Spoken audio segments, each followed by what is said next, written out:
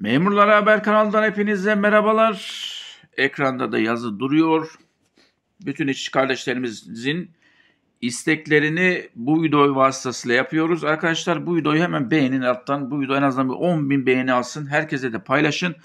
Bütün işçiler bu ay kesilecek olan sendika aidatlarının sendikalara değil depremzedelere gitmesini istiyor. Sendikalara duyurulur.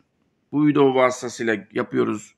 Bütün kamu işçileri 1 milyon kamu işçisi bu ay benden kesilecek sendika aidatını sendika almasın ve bu paralar depremzedelere verilsin diyor. Gün birlik günü diyoruz. Biz, biz de bu video vasıtasıyla AK Parti'ye ve ortağı MHP'ye sesleniyoruz. Bir genelge yayınlayın ya da sendikalar bunu yapsın.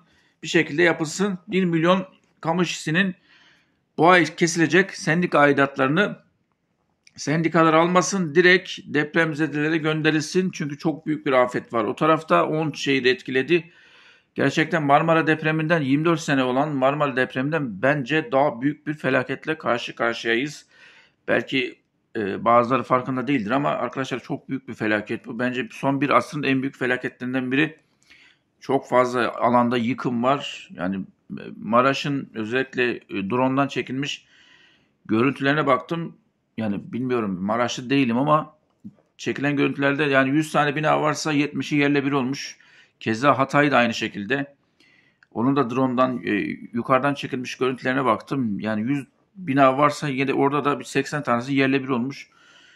E, bilmiyorum çok büyük bir felaketle karşı karşıyayız. Kamu bütün bu ay kesilen hatta önümüzdeki ayda da kesilen herkes bütün kamu işleri sendika aidatlarını sendikalara değil depremzedelere gönderilmesini istiyor. AK Parti'ye duyurulur. Bu videoyu paylaşın arkadaşlar her yere yayılsın.